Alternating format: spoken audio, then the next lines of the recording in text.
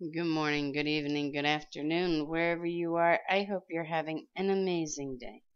It is Sunday, June 29th, 2014. and this is the facts of the matter. Do you want to get rich? George is young, aggressive, astute in business, and getting rich. He claims to be a believer in Christ, and he might be. But I noticed that when I broached the subject of winning the lost and investigating time in people's lives for the kingdom of God, his eyes seemed to glaze over and his attention wanders.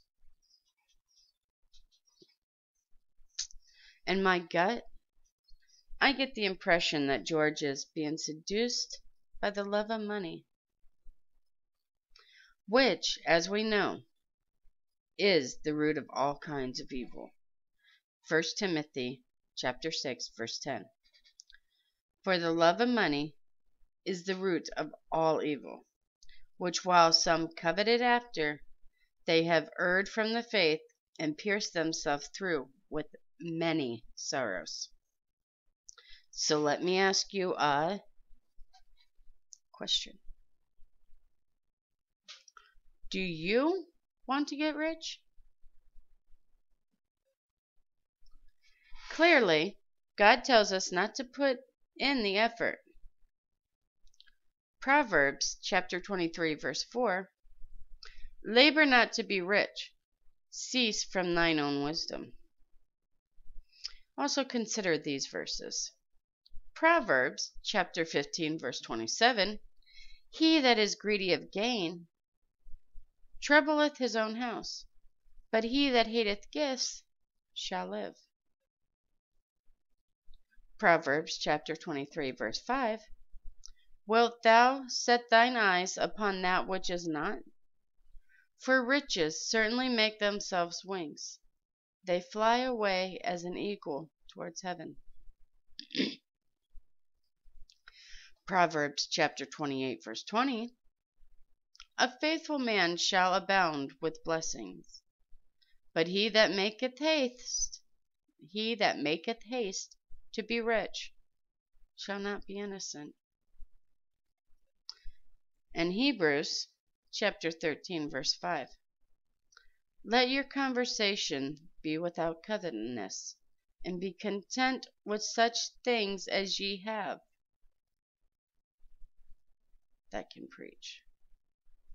For he has said, I will never leave thee, nor forsake thee.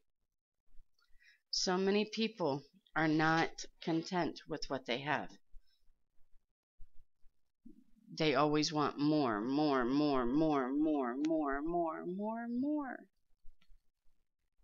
Or they're afraid to lose what they already have.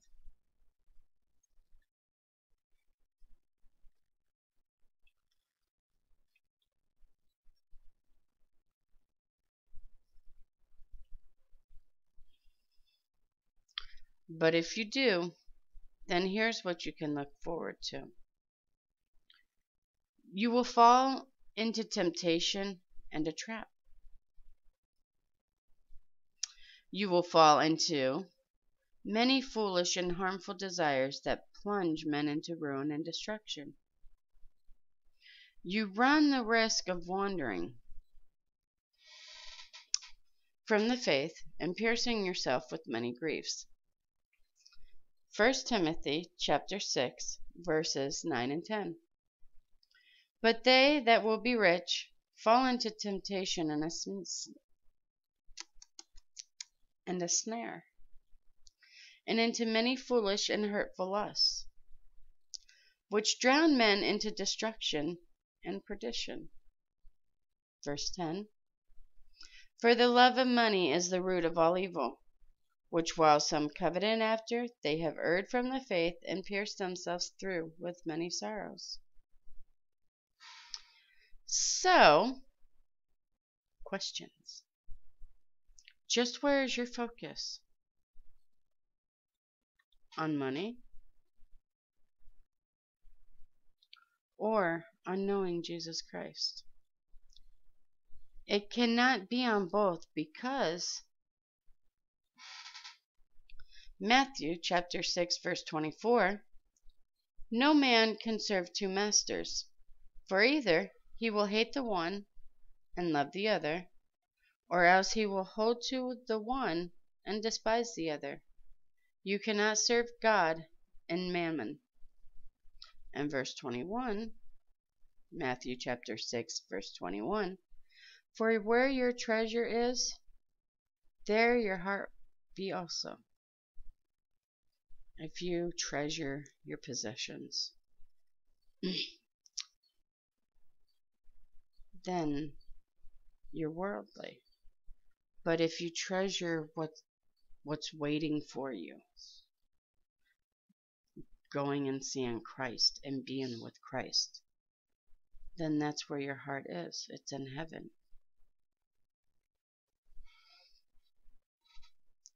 Jesus reassured us that if we pursue that if the pursuit of him is our primary focus, he will provide for our material needs.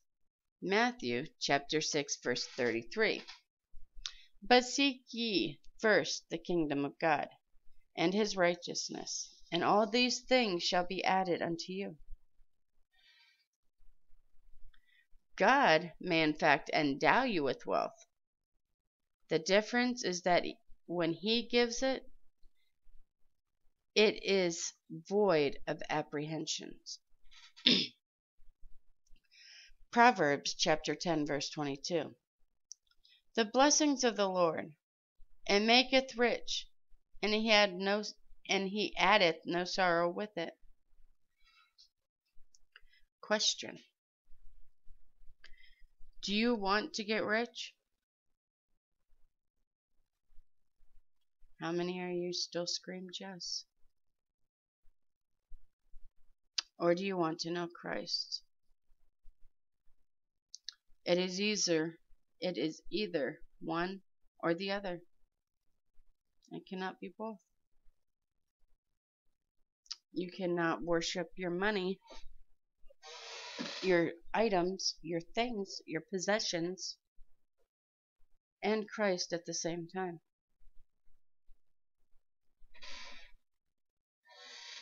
It can only be one or the other. Jesus Christ or your stuff and money.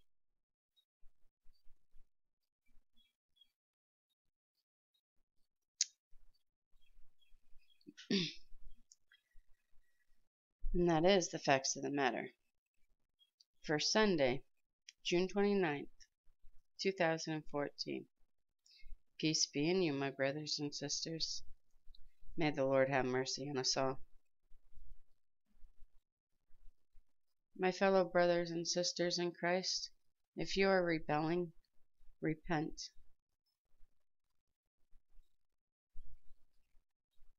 Re rebellions are worse than sins. You know you shouldn't be doing what you're doing, yet you figure, he's long suffering. What does it matter? I'm going to do it anyways. Oh, Sister Nicole, that's kind of harsh. That's not how we're thinking it. Yeah, right. You choose to do what you want to do in your rebellion. And that makes it worse because at least before you knew Christ, you were ignorant. Now you know what you're doing and you just don't care, you do it anyways. Spitting in his face, pretty much. Oh, he's long suffering. Not for very much longer.